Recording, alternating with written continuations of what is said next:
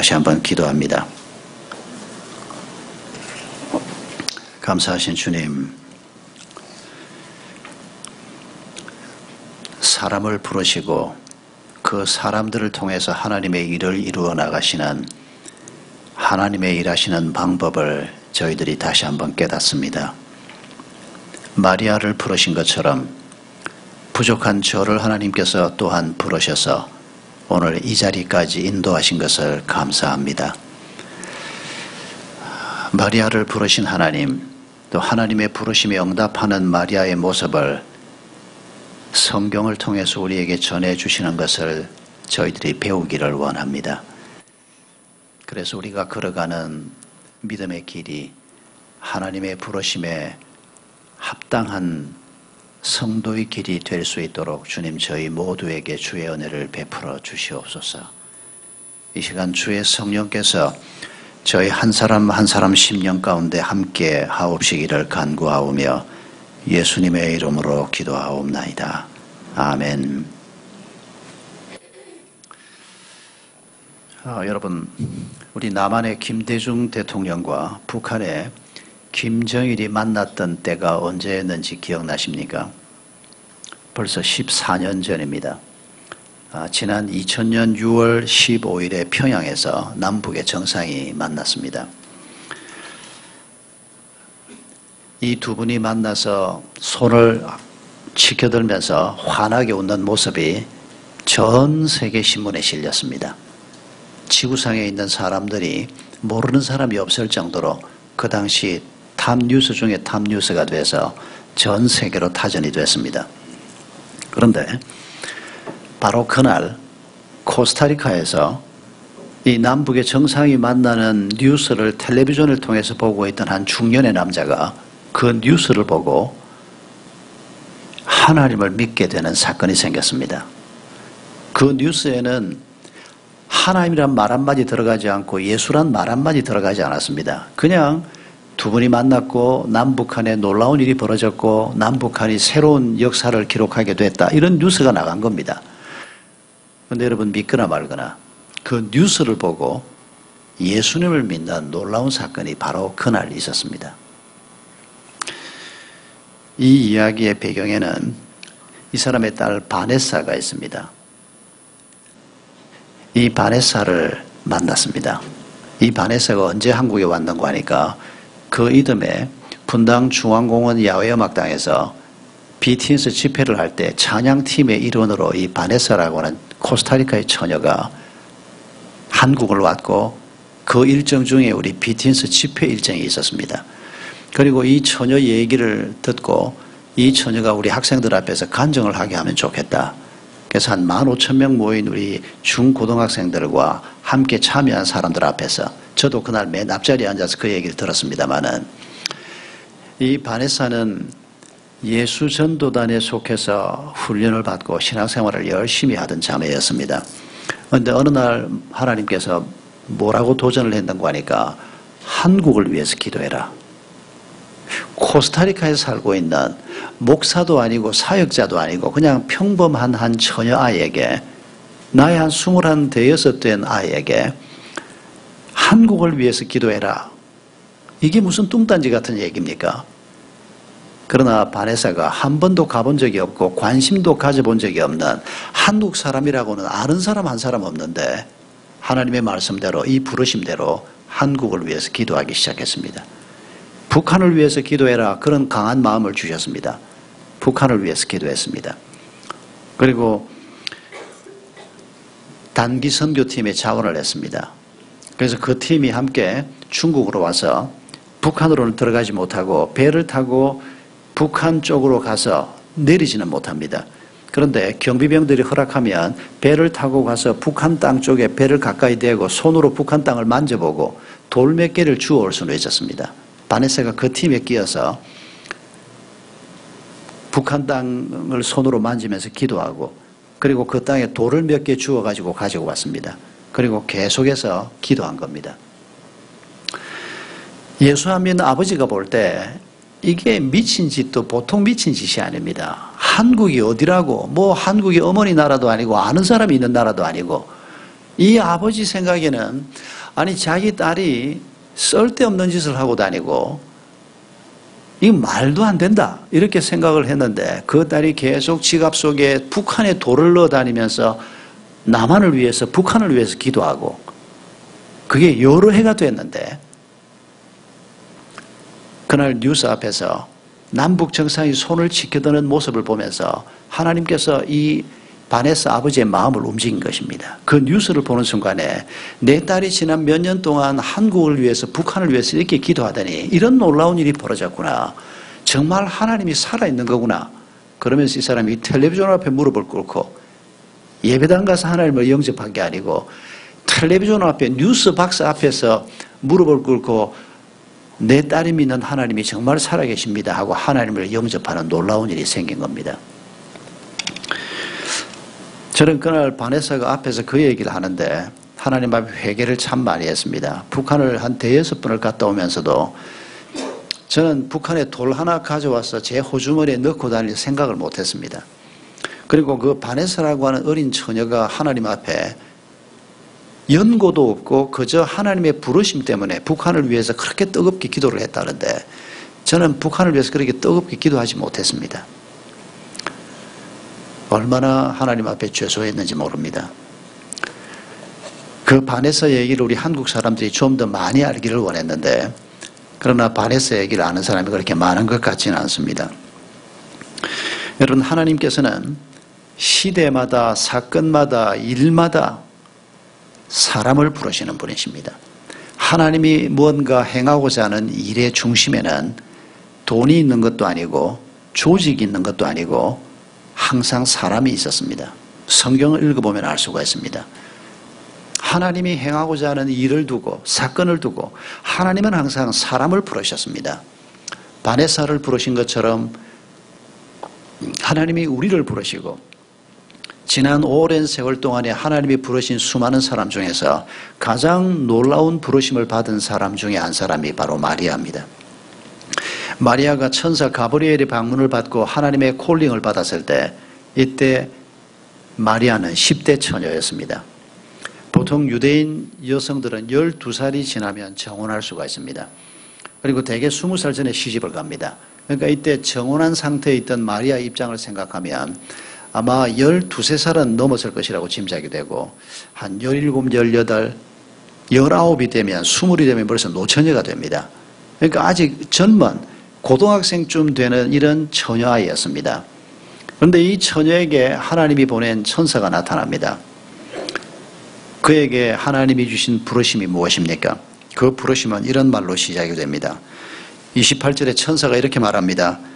은혜를 받은 자여 평안할지어다. 주께서 너와 함께 하시도다.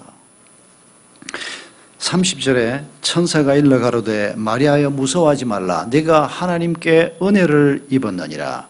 은혜라고 하는 단어 grace라고 하는 단어가 천사 입에서 두 번씩이나 언급되고 두 번씩 기록되어 있습니다. 여러분 하나님의 은혜를 당신이 입었습니다. 이렇게 말할 때 여러분 그게 뭘 의미하는 건지 우리가 알지 않습니까? 가브리엘 천사가 와서 마리아에게 했던 말은 당신이 성령으로 잉태할 것이다 라고 하는 얘기를 한 겁니다. 당신이 앞으로 아들을 낳게 될 것이다. 처녀에게 말입니다. 그리고 그 아들, 당신이 낳게 되는 아들 예수 그리스도가 세상을 구원할 구원자가 될 것이다. 그 얘기를 전한 겁니다. 그러면서 은혜를 입은 자여 라고 말한 겁니다. 마리아가 얼마나 놀랐을지 짐작할 수 있습니다. 뭐 남편하고 결혼을 해서 그리고 당신 부부가 낳는 아들이 장차 하나님의 나라를 위해서 귀하게 쓸 것이다. 이런 정도라면 얼마나 감사한 일입니까? 그런데 처녀인 마리아가 아들을 낳을 것이라는 겁니다. 성령으로 잉태될 것이라는 겁니다. 여러분, 이건 그 당시 유대인의 율법대로 하면 돌에 맞아 죽는 겁니다. 남편의 아들을 낳는 게 아니고 정혼한 사람의 아들을 낳는 게 아니고 다른 사람의 아이를 낳는다는 얘기 아닙니까? 이게 마리아에게 얼마나 두려운 일이고 얼마나 수치스러운 일이 될 수도 있는 그런 일인데도 하나님께서는 그런 마리아의 입장을 별로 고려하는 것 같지 않고 은혜를 입은 자여 이렇게 얘기하고 있습니다.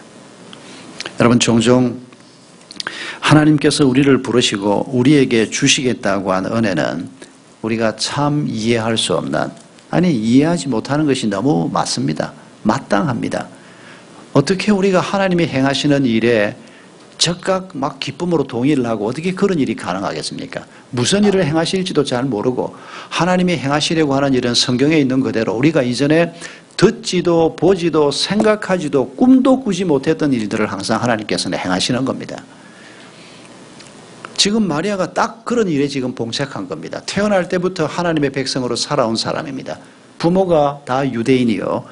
하나님의 백성으로 살아왔지만은 어쩌면 처녀인 자기에게 아들을 주시겠다고 얘기를 합니까? 그 아들이 아무리 구원 역사에서 중요한 역할을 하는 예수라고 하는 분이라고 해도 마리아 입장에서는 그 앞으로 벌어질 역사를 지금 다 꿰뚫어 볼 수가 없지 않습니까? 여러분, 하나님께서 하나님이 부르신 사람들에게 베푸시는 이런 은혜, 불합리한 은혜, 이해되지 않는 이런 은혜를 하나님은 늘 자주 말씀하십니다. 저는 어릴 때 교회를 다녔지만은 성경 말씀을 그대로 믿기가 참 힘들었습니다. 고등학교 1학년 때 예수님을 인격적으로 마음에 모셔드렸지만은 그러나 성경에 대한 의심이 끝이 없었습니다. 그런데 제가 신학대학을 다니고 있던 20대 때 터툴리안이라고 한 분이 교부입니다. 아주 초기의 분인데 이분이 한 말을 제가 읽으면서 마음에 엄청난 도전을 받았습니다. 터툴리안이라는 교부가 했던 말 중에 이런 유명한 말이 있습니다. 나는 하나님이 불합리함으로 그 하나님을 믿는다 라고 말했습니다. 만약에 내가 이해할 수 있는 하나님, 내가 예측이 가능한 하나님, 하나님이 무슨 말씀을 하시고 무슨 일을 할 것인지 예측이 되고 그 하나님이 하실 일들이 내가 다 이해가 되고 납득이 되고 동의가 된다면 그건 하나님이 아니라는 겁니다. 저는 터툴리안이 했던 그 말을 읽고 정말 놀랐습니다. 그리고 내가 얼마나 교만 방자한 사람인가를 그 말을 들을 때 느꼈습니다. 이 작은 내 머리, 이 시원찮은 내 생각을 가지고 헤아려지지 않는다고 해서 마치 그분이 하나님이 아닌 것처럼 혹은 하나님을 믿기가 참 어렵다. 이건 전적으로 무게중심을 나한테 두고 하나님을 바라보고 있었던 것입니다. 하나님이 어떤 분인가에 대한 기대가 너무 작았던 것입니다. 여러분 하나님께서 지금 마리아에게 그것도 아주 어린 한 고등학생쯤밖에 안 되는 어린 처녀에게 네가 은혜를 입었다.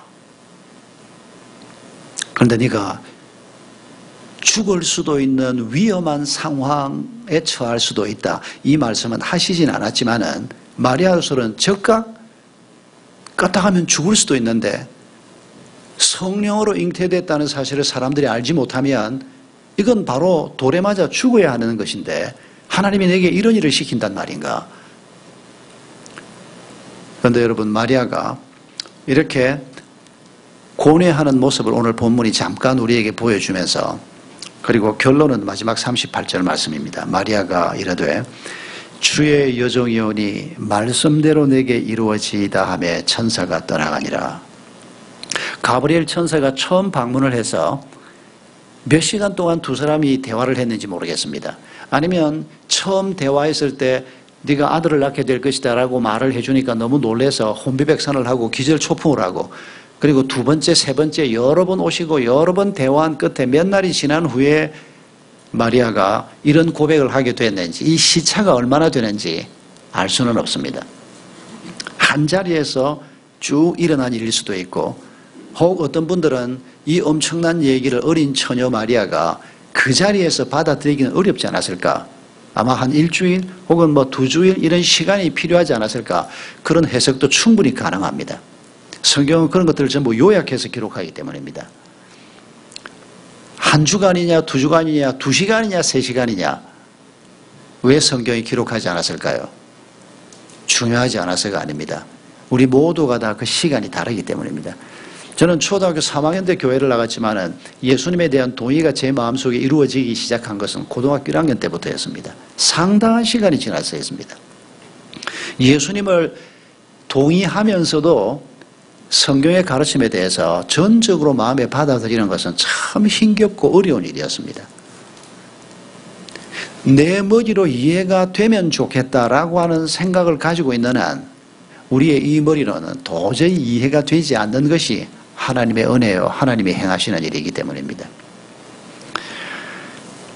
내가 이해가 안 되면 하나님의 은혜고 뭐고 그건 받아들이기 어렵다.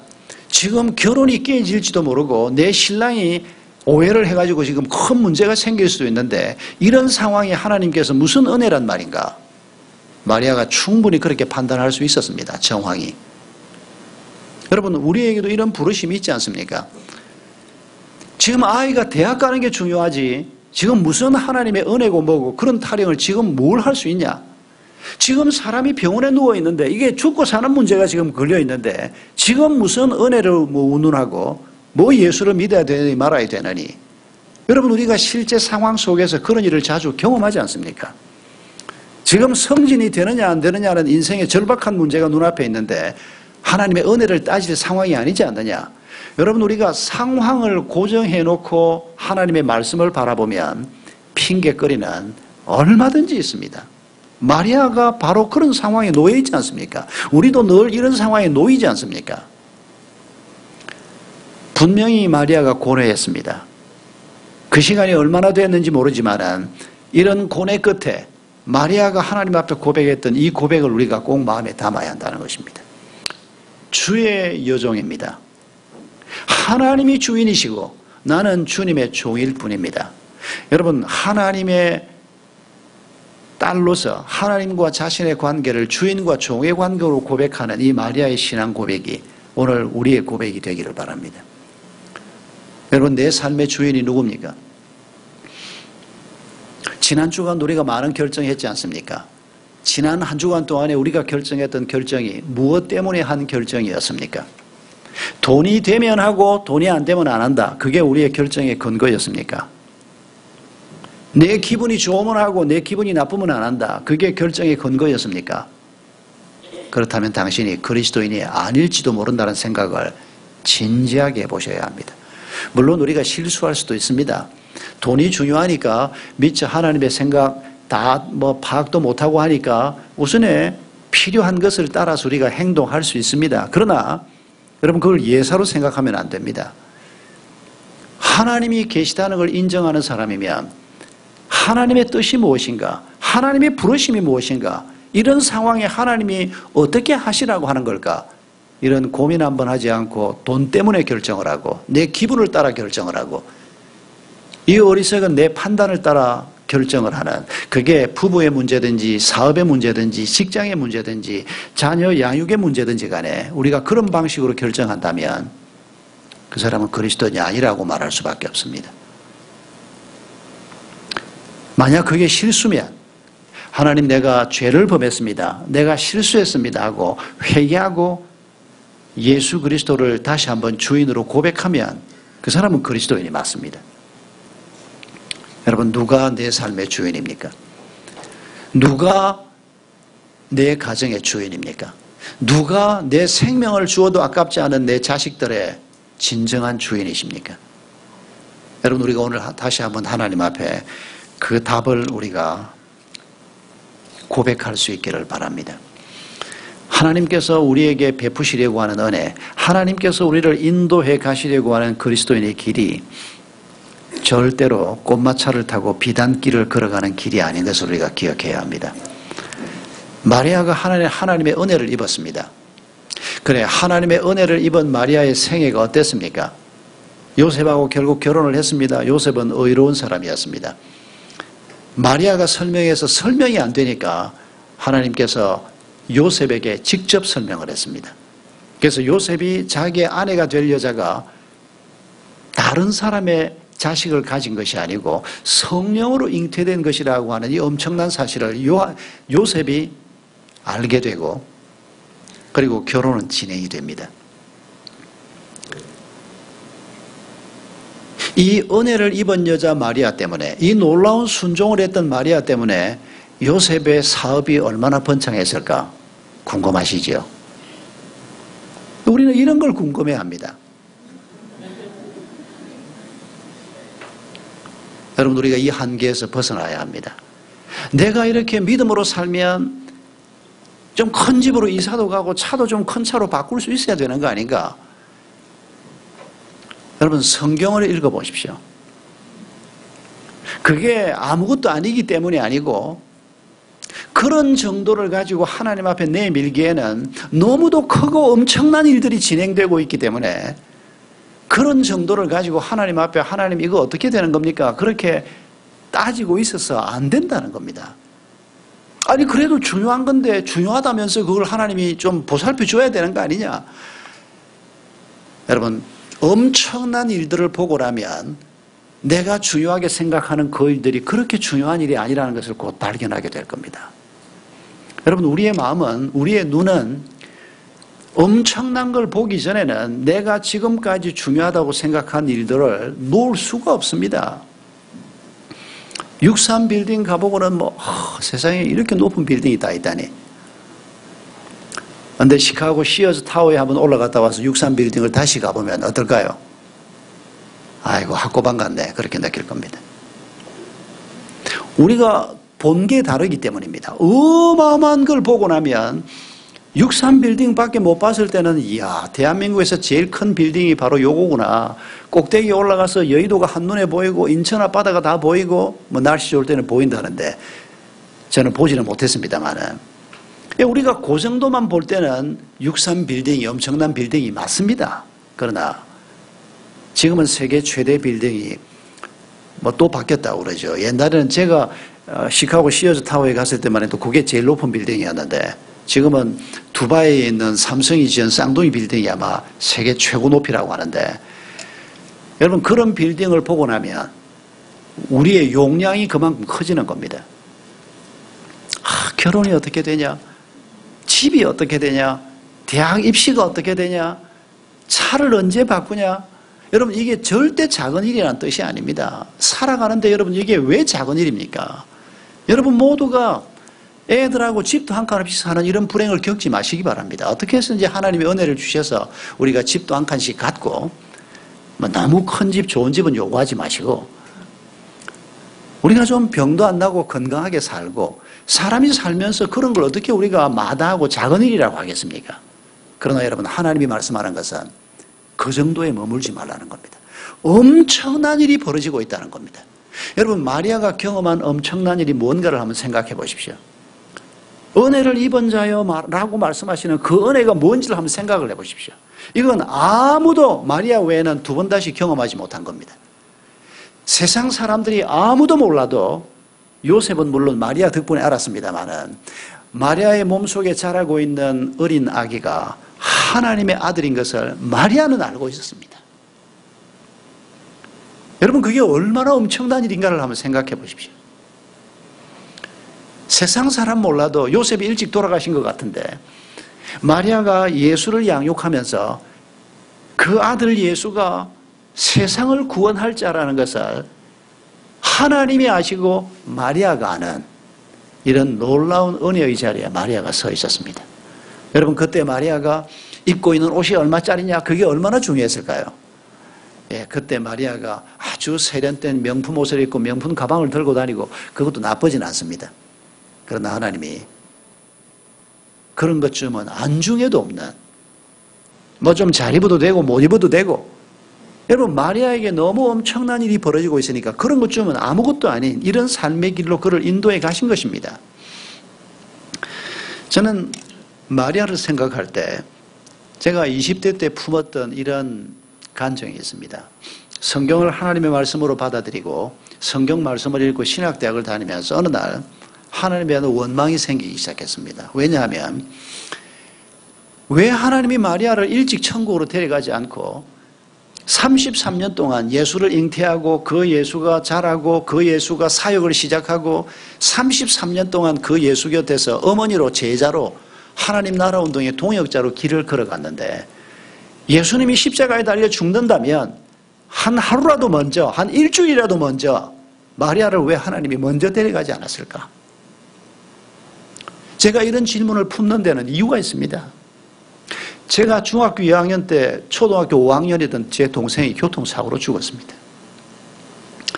형이었던 저만 해도 그 충격이 참 오래 갔습니다.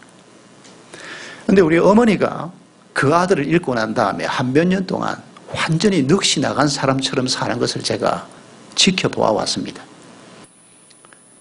물론 그 후에 어머니가 회복은 됐지만은 제가 그런 어머니의 아픔을 옆에서 지켜본 아들로서 성경을 읽는데 마리아가 그 아들의 죽음을 직접 목격하도록 하나님께서 그것도 비참하게 아들이 죽는 그 모습을 어머니가 보도록 이거 하나님이 너무 비정한 거 아닌가 이런 질문이 막 마음속에 생기는 겁니다.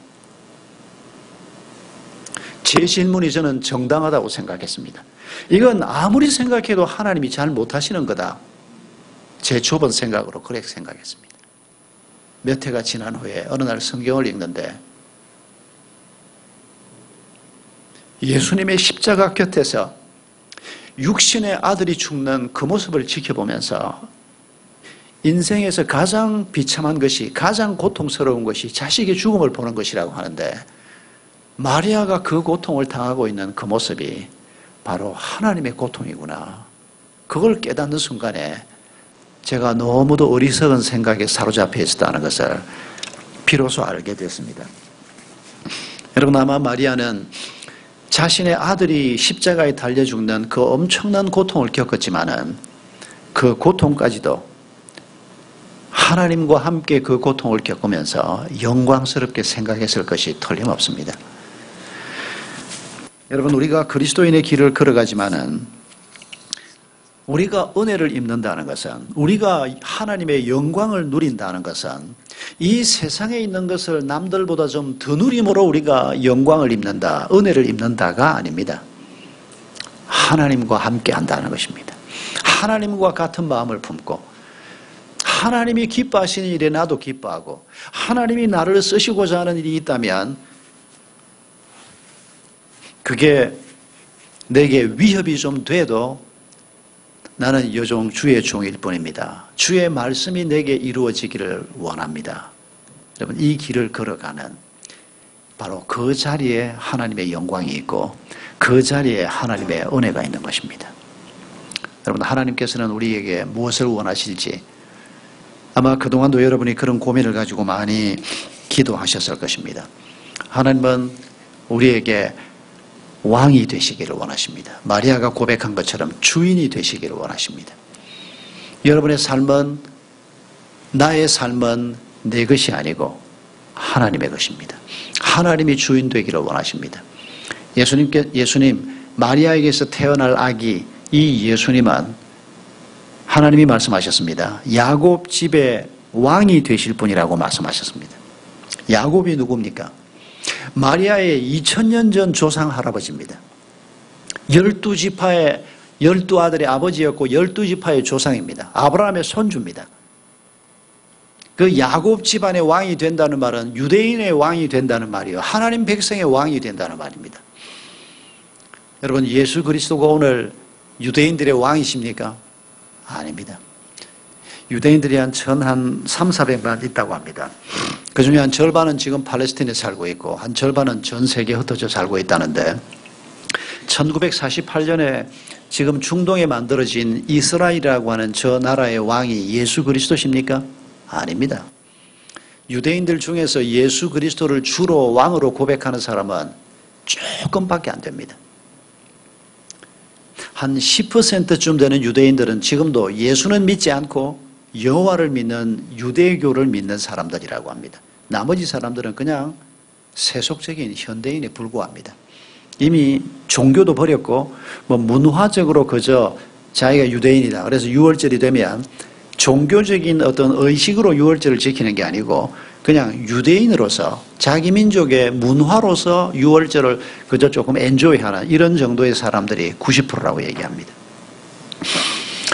예수님께서 마리아에게 마리아에게 예수님께서 야곱 집의 왕이 될 것이다. 네가 그런 아들을 낳는다라고 말씀하신 여러분 이 말씀의 의미가 무엇입니까? 여러분 열두 지파가 중심이 돼서 이스라엘 공동체가 형성됐지만은 그 공동체가 예수 그리스도를 대부분 거부했습니다. 그리고 소수의 사람들이 예수 그리스도의 제자가 됐습니다. 이 예수 그리스도의 제자가 된 사람들의 대표자로 하나님께서는 열두 제자로 세웠습니다. 열두 제자는 열두 지파를 염두에 두고 예수님께서 열두이란 숫자와 제자 그룹을 세우신 겁니다. 여러분, 예수 그리스도가 왕노릇 하는 것은 이제 더 이상 혈통을 따라서 유대인으로 태어난 사람들이 아니고 아브라함의 믿음, 야곱의 믿음, 요셉의 믿음을 가지고 있는 사람들, 예수 그리스도가 바로 우리의 구속주라는 것을 믿는 사람들, 그 믿음을 가진 사람들에게 왕노릇하는 사람이 바로 예수 그리스도십니다. 우리가 오늘도 이렇게 예배의 자리에 와 있지만은 예수님만이 내 삶의 왕이다라고 하는 분명한 고백과 순종이 없다면 주님께서는 우리에게 왕노릇 하실 수가 없습니다. 주님이 어떻게 왕노릇 하십니까? 말씀을 따라 왕노릇 하십니다. 하나님은 눈에 보이지 않습니다. 그러나 우리를 다스리십니다. 어떻게 다스리십니까? 말씀을 따라 다스리십니다. 우리가 말씀에 익숙한 자가 되지 않으면 하나님의 통치를 받을 수가 없습니다. 내가 말씀에 익숙하지 않으면 내게 익숙한 것에 다스림을 받을 수밖에 없습니다. 내 몸에 배어 있는 습관이 있지 않습니까? 내가 좋아하는 거 있지 않습니까? 내 머릿속에 들어있는 하나님이 주신 사고방식이 아니고 잘못된 사고방식, 성경과는 상관없는 사고방식, 죽음의 사고방식, 이기적인 사고방식, 우리가 이런 것들을 따라 살 수밖에 없습니다. 하나님은 오늘도 우리에게 말씀을 따라 우리에게 말씀해 주시고 순종하게 하시고 헌신하게 하셔서 우리를 통치하시는 분이십니다. 내 개인의 삶에서 내 직장에서 내 사업에서 자녀를 키우는 일에서 왕이신 그분의 뜻이 무엇인가? 나는 주의 종일 뿐입니다. 주의 말씀이 주의 뜻이 내 삶 속에, 내 가정에, 내 사업체에, 내 직장 생활에 이루어지기를 바랍니다. 여러분, 그게 그리스도인이 고백하는 고백입니다. 우리가 마리아하고 똑같은 경험을 하는 것은 아닙니다. 그러나 마리아하고 똑같은 믿음으로 우리 각자에게 주어진 삶의 길을 걸어가는 것입니다. 우리가, 우리에게 우선순위가 그게 아니고 이거다라고 생각되는 중요한 일이 있을지라도 여러분, 거기에 만약 하나님이 계시지 않는다면 그건 아무것도 아닌 것이 되고 마는 것입니다. 하나님이 우리 삶 속에 계시면 우리는 모든 것을 가진 것입니다. 많은 것을 가지고 있는 것 같아도 하나님이 우리 삶 속에 계시지 않는다면 그것도 여러분 왕으로 계시지 않는다면 우리는 모든 것을 다 잃은 자인 것을 기억하셔야 합니다. 저는 가끔씩 이런 기분 좋은 상상을 해봅니다. 제가 부족하고 시원찮고 제 자신에 대한 자존감이 떨어지고 내 시원찮은 것 때문에 하나님 앞에 죄송하고 그래서 어떤 때는 막 설교 준비도 잘 안 되고 하루 종일 앉아있어도 잡생각이나 하고 있고 이렇게 마음이 잘 다스려지지 않을 때 제가 한 번씩 떠올려 보는 기분 좋은 상상들 중에 하나가 이런 겁니다. 제 이름을 여러분이 아시는데 제 언자가 은혜 언자입니다. 그리고 조자는 억조 조자입니다.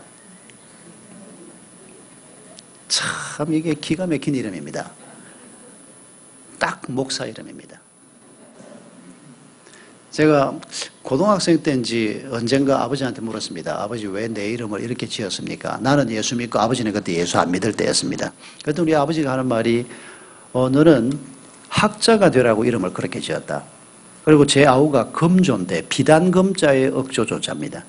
내 아우는 돈 많이 벌으라고 비단금자의 억조조자를 지었고 저희 형님은 원래 이름이 상조였는데 나중에 이름을 정소로 바꾸었는데 우리 아버지가 그 이름은 어떻게 지었는지 내가 형님 이름을 물어본다는 걸 미처 생각을 못했고 내 이름에 대해서만 물었는데 동생 이름은 아버지가 설명을 해준 겁니다.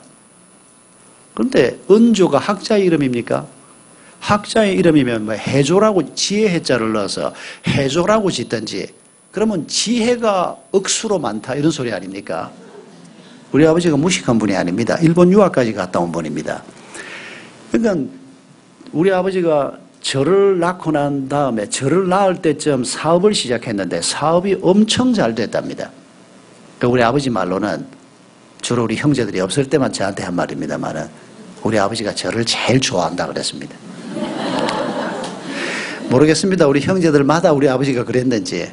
그러면서 꼭 했던 말이 네가 태어나고 난 다음부터 아버지가 사업이 잘 됐다. 근데 그게 내 초등학교 5학년 때 파산했습니다. 별로 오래 가지도 못했습니다.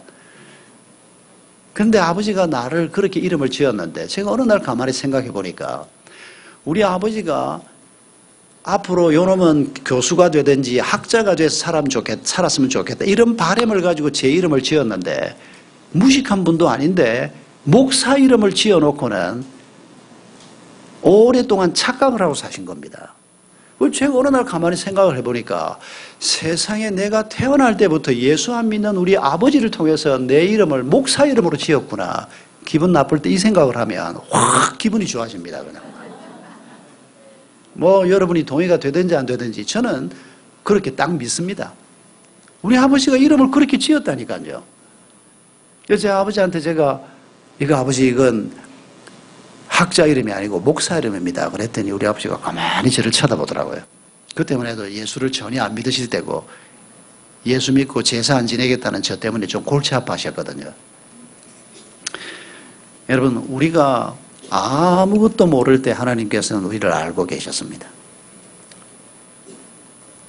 우리가 아무것도 아닐 때 하나님께서는 우리를 존귀한 하나님의 아들로 하나님의 딸로 살기를 바라시면서 우리에게 은혜를 베푸시기로 작정하신 분이 하나님이십니다. 여러분 오늘 우리가 힘들고 어렵더라도 지금 내가 서 있는 그 자리가 내 자리가 아닌 것 잊지 마십시오. 하나님은 우리를 온전케 하실 분입니다. 하나님은 우리에게 큰 은혜를 오늘도 베푸시고 내일도 베푸시고 영원히 우리에게 그 은혜를 베푸실 것입니다. 우리가 이런 하나님을 오늘 다시 한번 바라보십시다. 그분이 내 삶의 주인인 것을 감사하십시다. 그리고 나는 주님의 종입니다. 주의 말씀이 내 삶 속에, 내 자식들의 삶 속에 이루어지게 해주십시오. 우리가 이런 길을 걸어갈 때 우리 삶에 하나님의 평강이 넘칠 것입니다. 하나님의 생명이 우리 삶에 넘칠 것입니다. 우리 함께 주님을 찬송하십시다. 너의 가는 길에 주의 평강이 있으리. 우리 불편하지 않으신 분